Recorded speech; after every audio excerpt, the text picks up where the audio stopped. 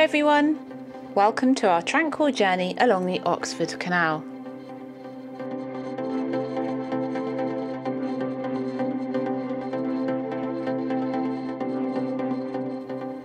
After picking up the boat, the very first thing we had to do was wind at the nearest available point.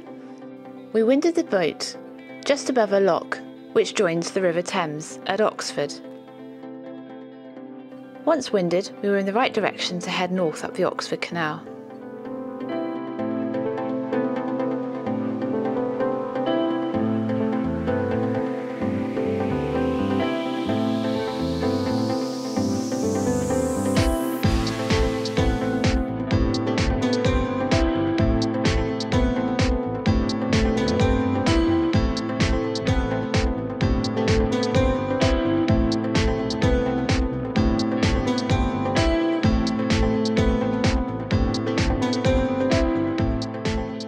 As we travel, we thought we would tell you a little bit about this canal's history. The Oxford Canal was initially designed by James Brindley, though sadly he died in 1772 and never got to see its completion.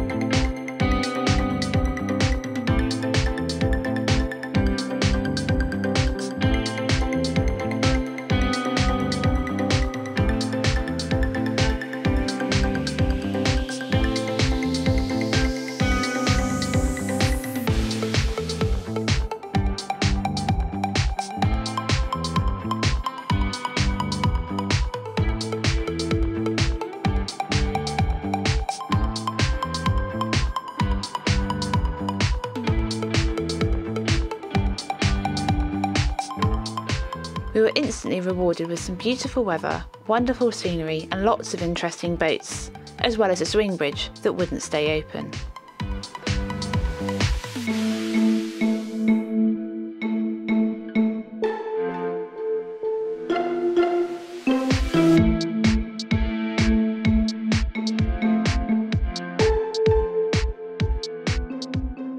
It took 16 years, between 1774 and 1790, for the entirety of the canal to be opened.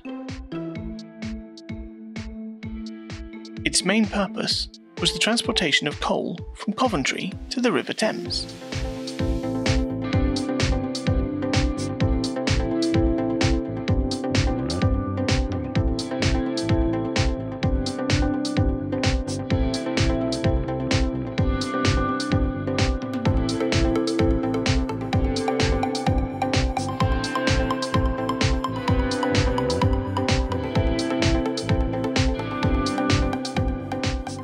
Despite the introduction of the Grand Union Canal, which effectively replaced the need for the southern section of the Oxford Canal, trade continued on this waterway well into the middle of the 20th century.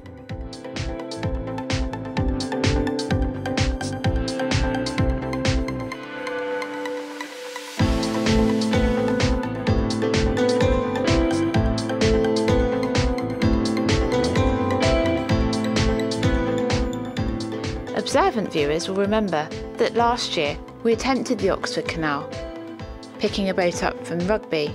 However, due to the volume of traffic, we were unable to get very far south and instead ended up going up the Grand Union Canal.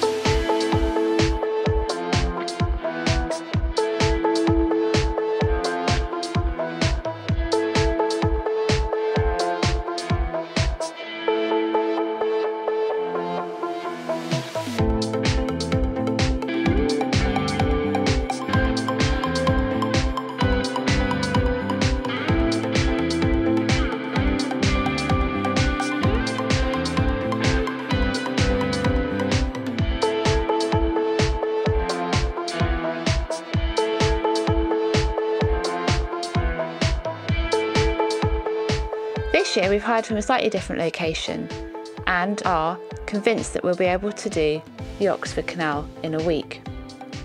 Stay with us and see if we manage to complete our journey.